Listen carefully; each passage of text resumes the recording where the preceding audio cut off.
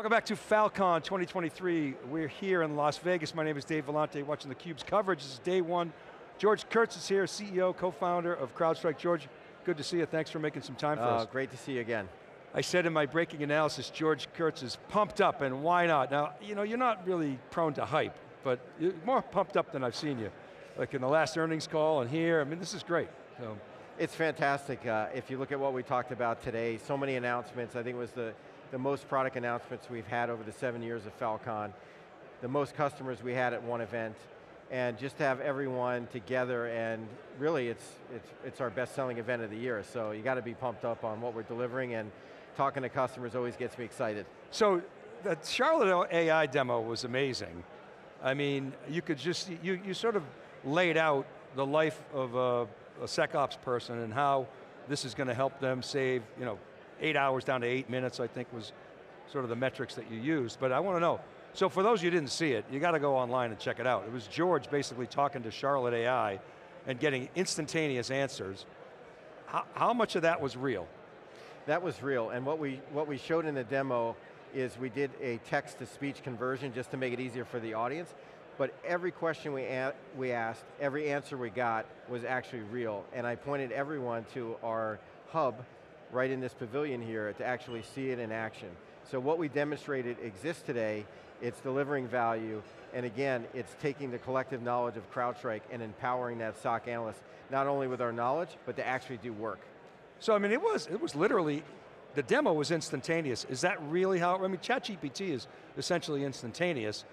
Does it, A, work that fast, and do you have to sort of massage it a little bit, give it a little prompt engineering, or change the tone, or is it really going to well, be that I'm simple. I'm going to invite you to go take a look at it because you'll see how fast it actually okay, works, I will. Right? Um, and you know, from the perspective, it really depends on the query, right? If it was a massive query that was super complicated, you could have a little bit more latency than you know, sub one second.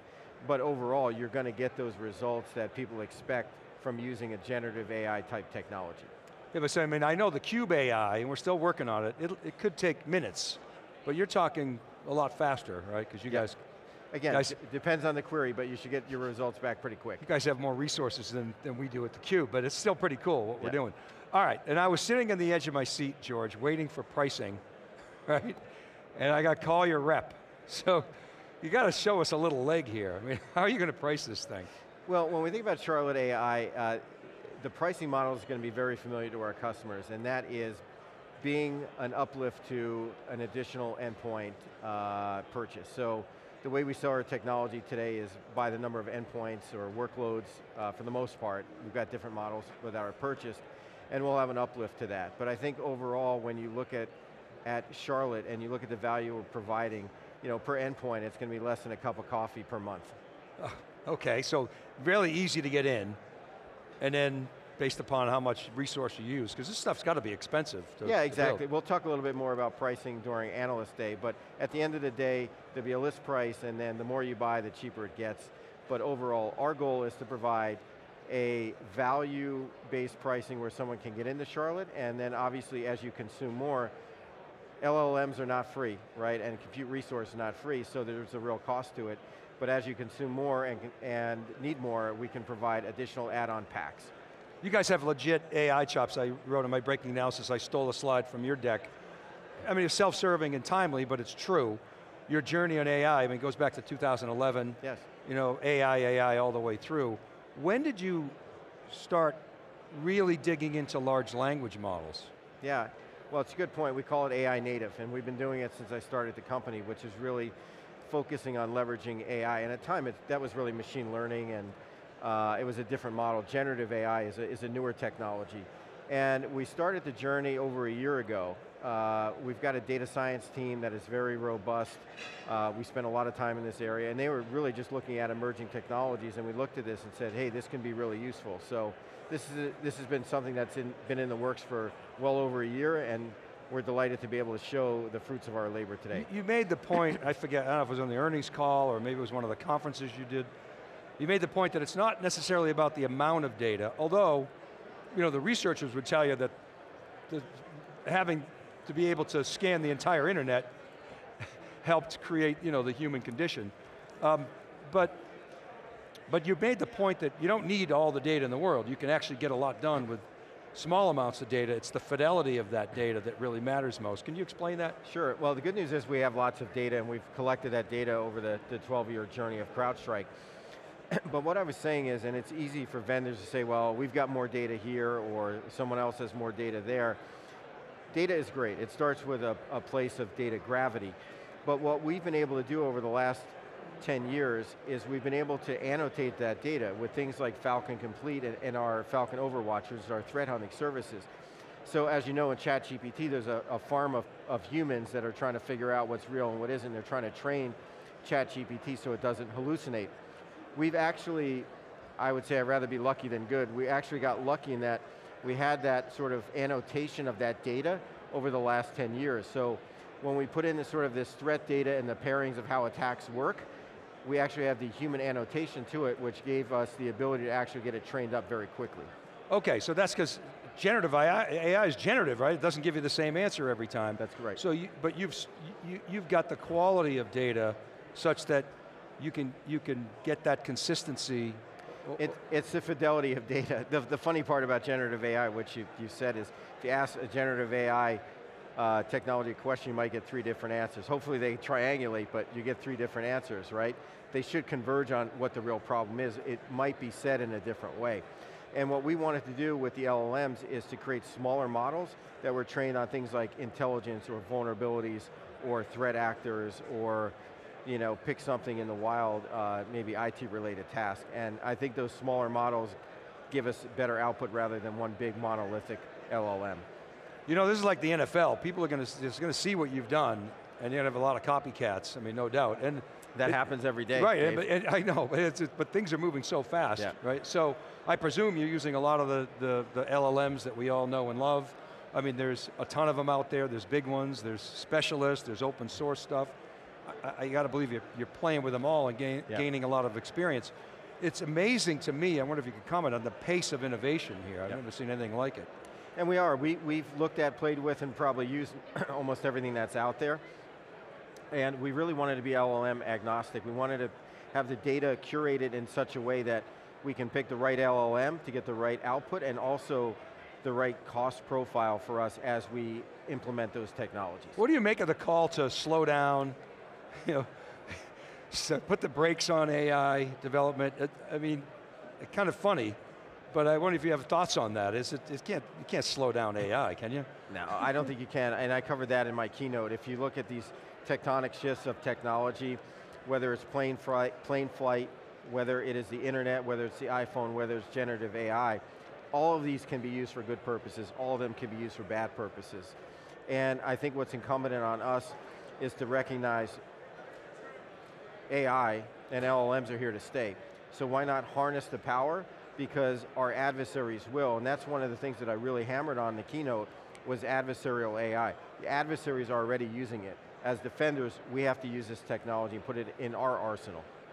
So, uh, you talked about uh, the three sort of lines of business, if we will, cloud, uh, uh, uh identity, and LogScale. Yeah. As each IPOable business is on their own, you're not going to start spinning out companies, are you? No, we're not. But, uh, okay. So, and then of course you got Humio was the, that LogScale right. was your home run on that one. So how are you thinking about your business going forward? Is that is that sort of the framework for the foreseeable future? Well, the framework is really the platform, right? And it all starts with collecting first-party data, now third-party data with our Raptor release. And then once we get the data in the platform, then we can create different security outcomes in different businesses. You talked about three of them, right? Obviously we've got the protection market that we've, everyone knows and loves us for, but because we collect data from the platform, we've been able to solve different use cases, identity threat protection and response uh, next-gen SIEM, you know, all these cloud workloads, and our acquisition of Bionic I'm sure we'll talk about. So it really starts with selling the platform and collecting the data. And this is an area that I really focused on, again in my keynote, which is, 10 years ago, EDR was all about protection and visibility of endpoints. In 2023, the Falcon platform and that agent really is the chassis that gets data into the platform it certainly allows us to do EDR, but it allows us to unlock all the other areas that we've created to solve different security outcomes. Okay, let's talk about Bionic. What was the rationale behind that? I, I saw, I don't know if it was announced, but I saw TechCrunch reported 350 million. I don't know if that's the actual number. Um, is that, where, where, does it fit? What's the rationale? Is, could it create another IPOable business? Sure, it was, uh, that's their number, not our numbers. Yeah, we actually okay. haven't put the numbers out, but we're excited about this acquisition, about the technology and the team, which is really what we look for when we buy a company. So the rationale is, we are one of the largest cloud security providers in the world by revenue. So we're almost 300 million, which we talked about on our last earnings call. We've created a very effective uh, CNAPP solution, so CSPM and cloud workload protection, CIEM, cloud entitlement uh, management, infrastructure entitlement management, too many acronyms. And really what Bionic does is it gives us application security posture management. So not just giving you visibility on your infrastructure, but telling you what's in that infrastructure, what applications are in use, what exposures do you have, and how do you draw a map of what's out there. Not only critical for security, but critical for the DevOps team. This, this stuff, the way it works without touching code, is magic. And that's what customers like. It's non-intrusive to getting these map and these outcomes without actually looking at code. Mm, very cool. You talk about acronyms, that's another thing that Charlotte AI will help us out, is all these acronyms, will. you just ask it, and they'll tell you. I want to talk about the cloud, right? The cloud, when the first, we've heard about the cloud, it's like, oh, maybe it's not secure, and then, oh wow, the cloud's more secure. The cloud has actually created a lot of complexity. And, and I wonder if you could talk about that as an op the opportunity that that created for you. Well, if we think about the cloud, the cloud is just the evolution of technology.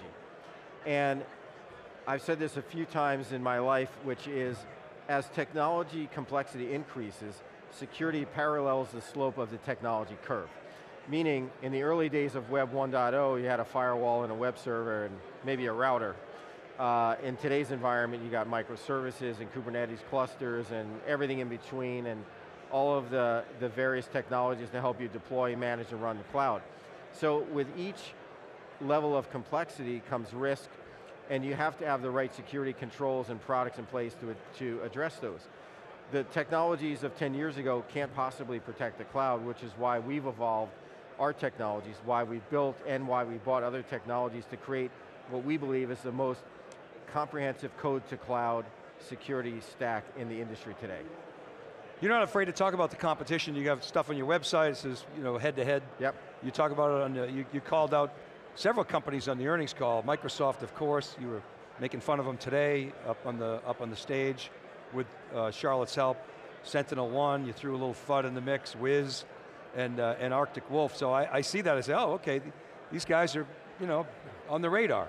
How do you think about competition? What gives you an advantage over some of these and some of the other companies that we well, see out we, there? we certainly take all the competitors uh, seriously, and it's a, uh, security is a bit of a contact sport um, in that there's so much FUD in the environment. You and I talked about this before we got on the air. Like, we're, we're always being looked at, uh, and as they say, you know, many enemies, much honor, right? Always being looked at and trying to be knocked off the hill. But that being said, we try to let our numbers and our technology do the talking. When you look at the growth rates we have as a company at scale, almost $3 billion, uh, when you look at the record cash flow, when you look at record after record that I went through in the earnings call, I'm not going to go through each record that we had, there's a reason why we're achieving that, and that's because we're technology and innovative leaders in this space. And you know, competition is good because it drives us harder, it uh, sometimes confuses customers, but our goal is to create the best technology with the best security outcomes for our customers while we can consolidate and reduce cost and complexity.